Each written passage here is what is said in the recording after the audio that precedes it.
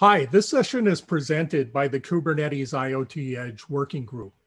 This is about using Kubernetes for edge applications.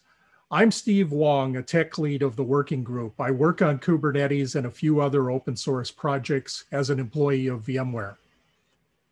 Hey, my name is Dejan. I'm an uh, engineer at Red Hat. Uh, been doing a lot of IoT and edge computing in the last couple of years, and also a, a lead of the this working group. We'll give contact information and a link at the end, but here's the agenda.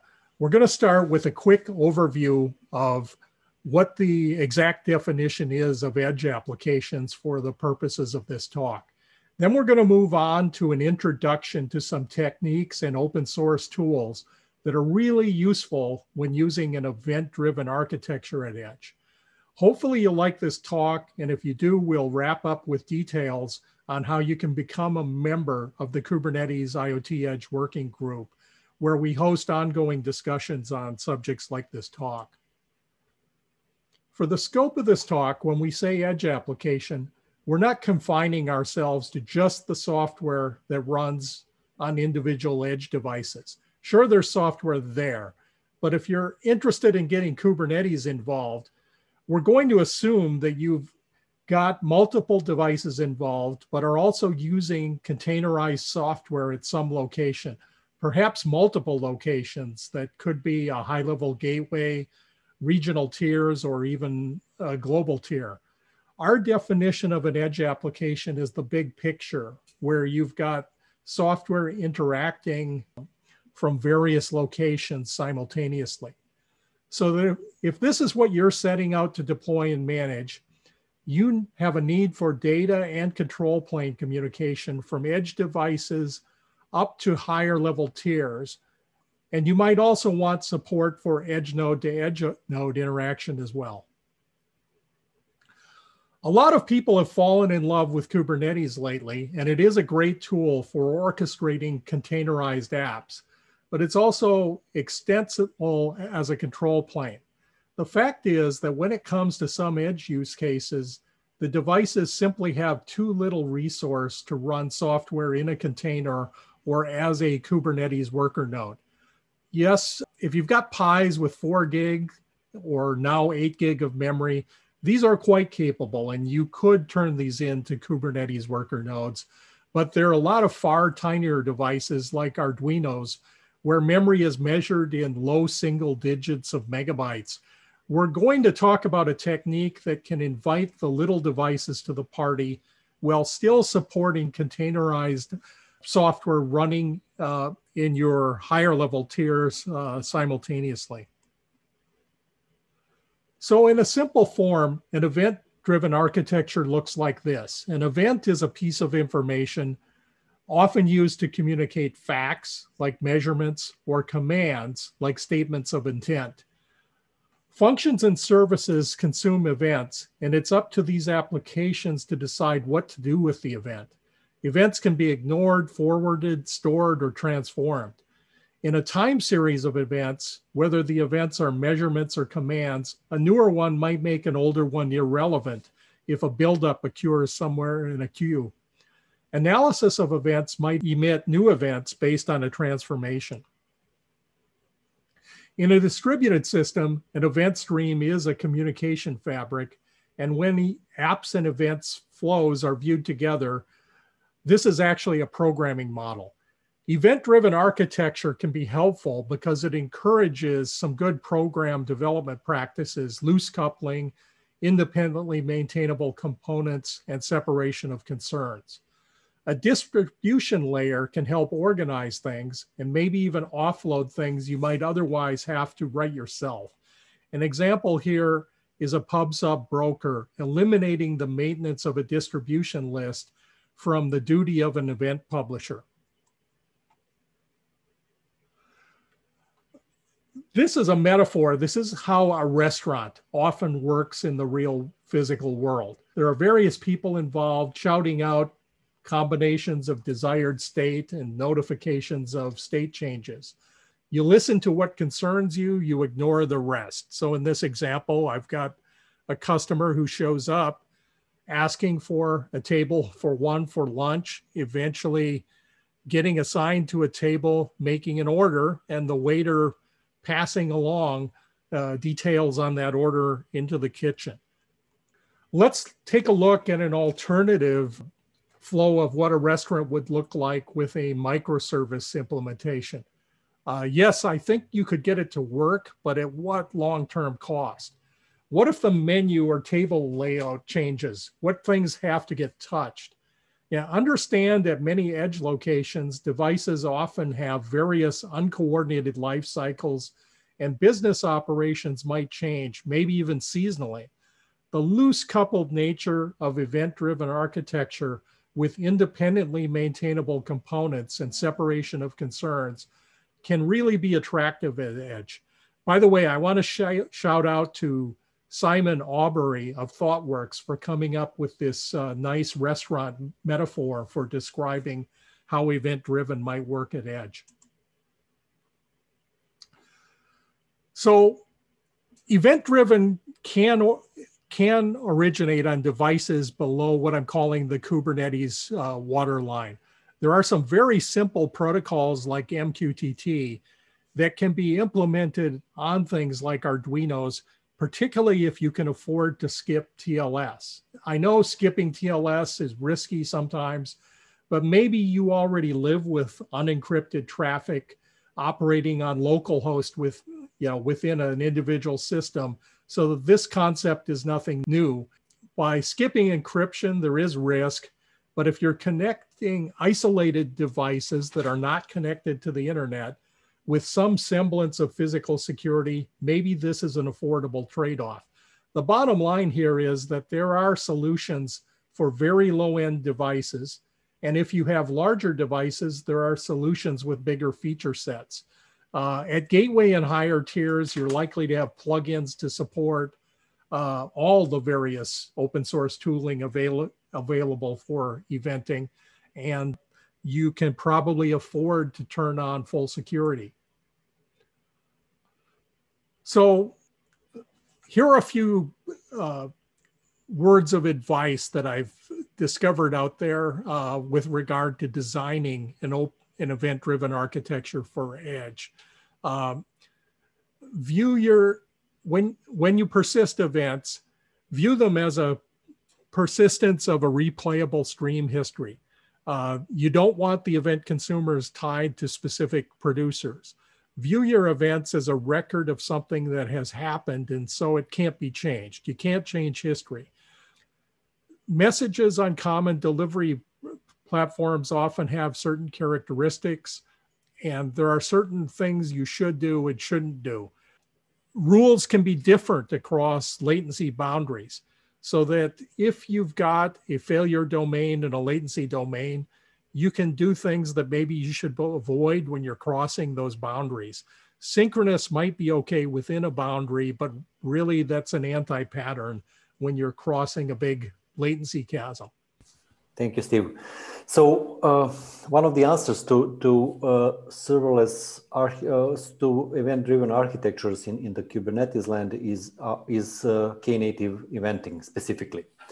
Uh, Knative eventing is is all about yeah hooking up our Knative services with, with appropriate event sources. So this diagram basically ex explains it in, in a in a in a most uh, simple way.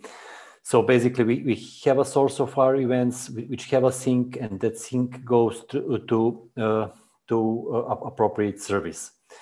Uh, also, one more important detail here uh, is our cloud events, and and the cloud events uh, provides a, a, structure to to our events. So basically, adding all the metadata that that we need uh, to, to describe our events and, and to have some consistency uh, uh, within our, our serverless applications.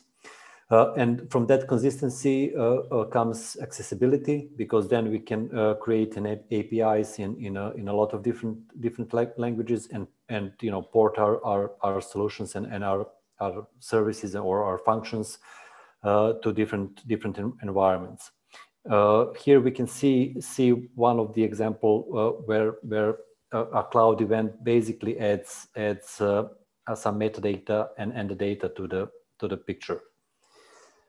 Uh, how this looks in, in practice is something that that, that we'll uh, demo at the end of, at the end of this talk. So basically, uh, what we have here is uh, an edge location which run in uh, Steve's home which contains a, a, a PAHO MQTT broker and, and the small devices that, that are connected to that broker uh, and sending, sending uh, their telemetry using, using MQTT.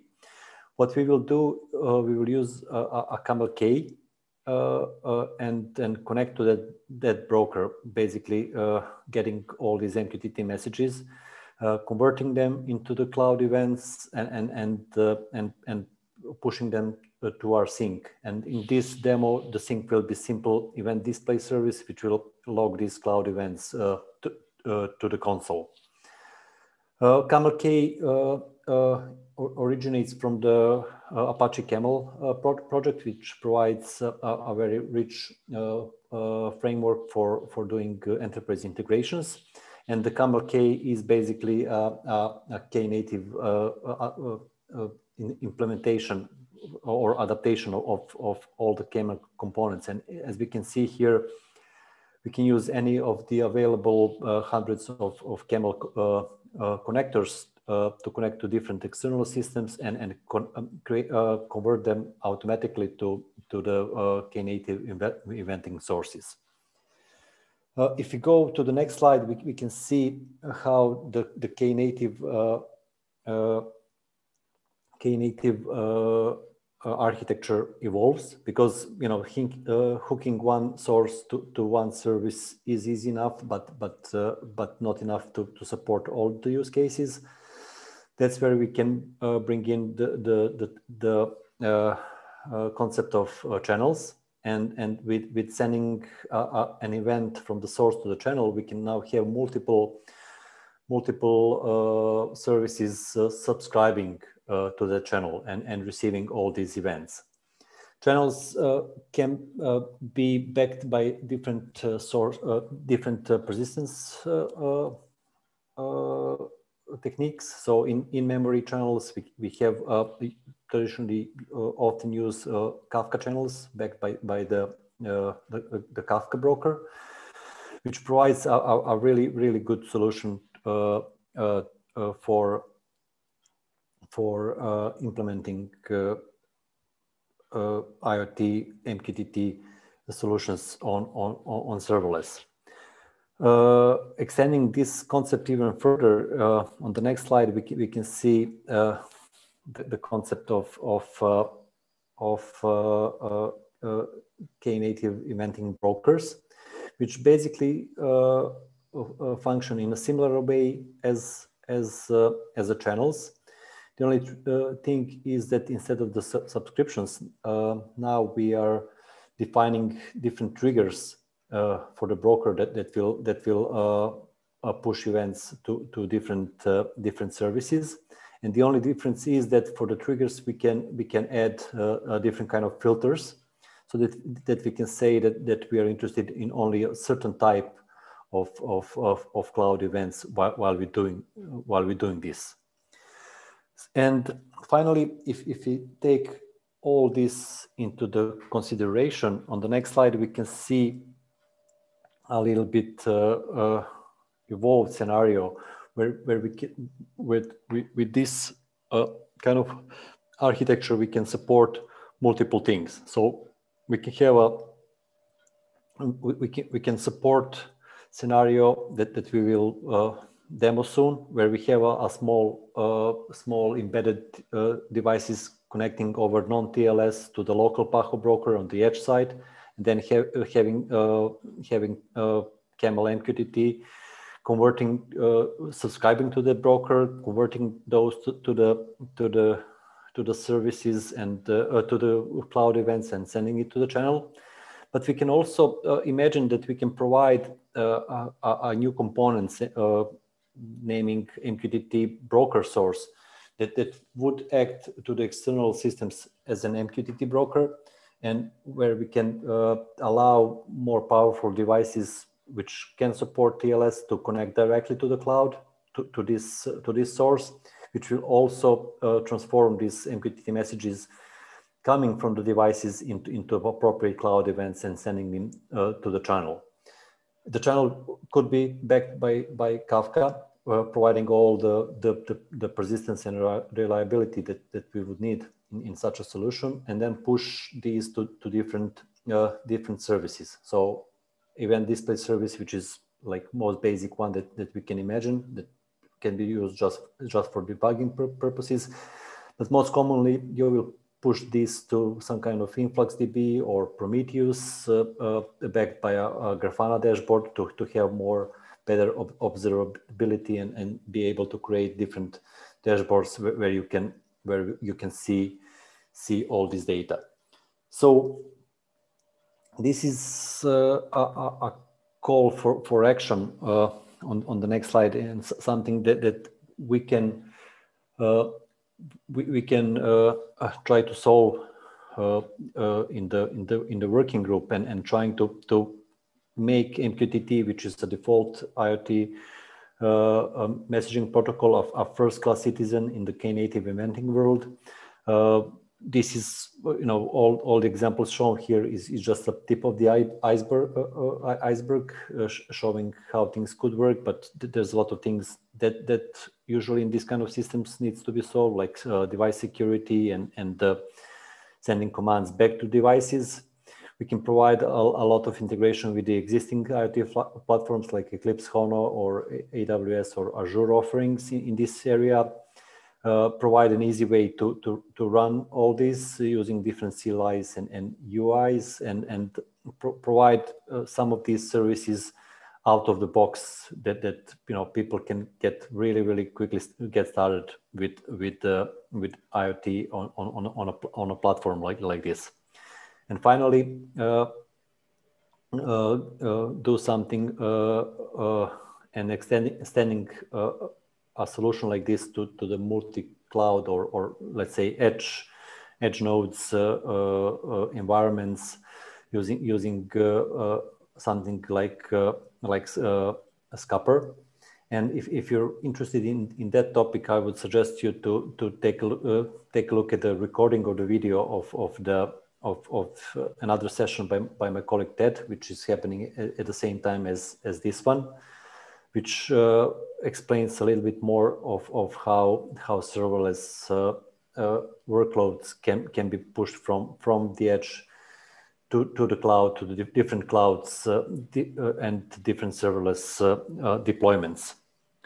So for the end, I, I would like to do to, to go back and, and do a simple demo of, of, of all this. So let me just quickly share my screen and, and, and try to try to do that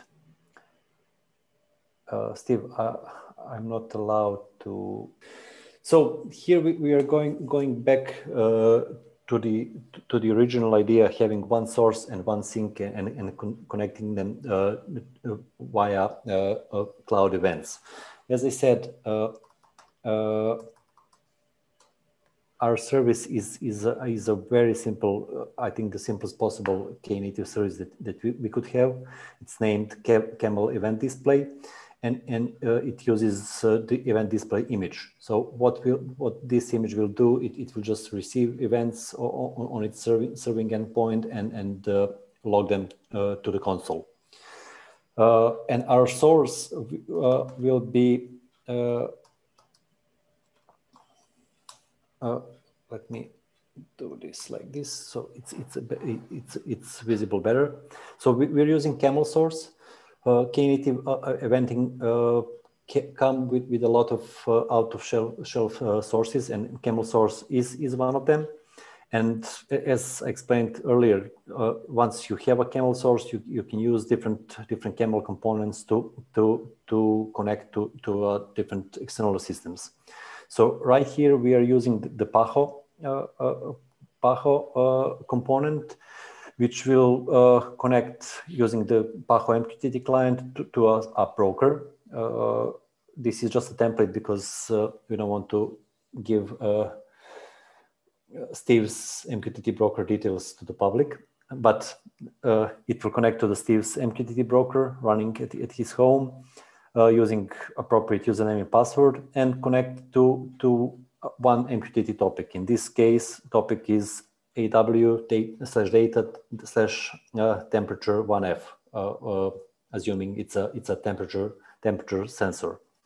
And uh, that in, in this camel source, we can see that this is uh, this is a definition of, of, of our source.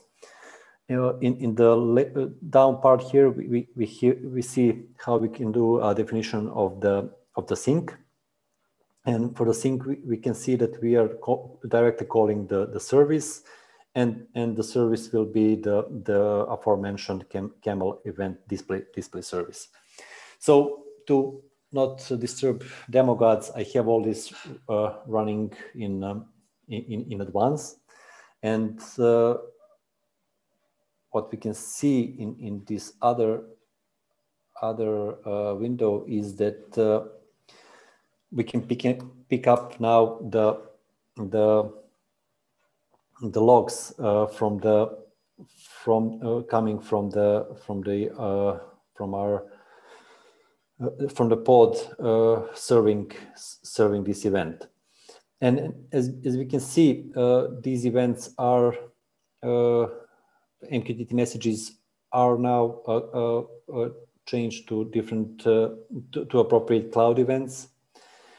We can see some of the, the, the metadata, the headers of the cloud events, like type, which meaning that it's generated by the camel component, uh, from which source it's coming, the, the, the, the, the time step of the event, and then finally, uh, finally the, the, data. So the data now is uh, 74.12 Fahrenheit degrees, I, I, I assume.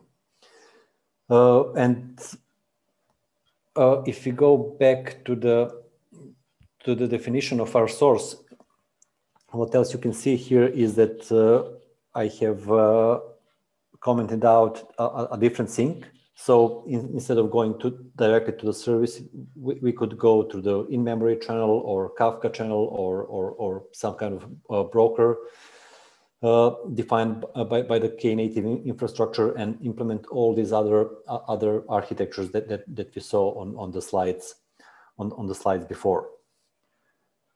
So, so this this is an example of, of another service. Uh, so uh, basically re reading the events coming from the Steve's MQTT broker, uh, pushing them to the to the uh, InfluxDB, and and then having a, a, Grafana dashboard connected to that InfluxDB and, and showing showing this uh, uh, this temperature in the in the real time.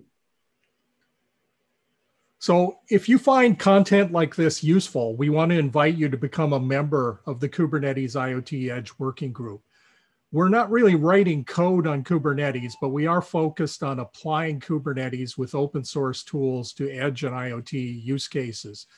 We have online Zoom meetings every two weeks at alternating times to accommodate members in different time zones as shown here. There's one series uh, earmarked for North America, the other one for uh, Eastern Europe and China. We encourage a member driven agenda. So once you join, you can nominate topics for presentations or discussions. We're also operating a group channel on the Kubernetes Slack. So we can be contacted using our GitHub IDs. That same ID is my Twitter handle. Okay, so these are our GitHub handles, and you can use that to reach out to us, or we're also available on the Kubernetes Slack. You see here on this slide the link uh, in the Sched site to get a copy of this presentation deck. Yeah, Thank, thanks for joining us. For this and we're going to hang around for a few minutes to for Q&A. And at this point, I'm going to turn it back over to the CNCF administrative staff.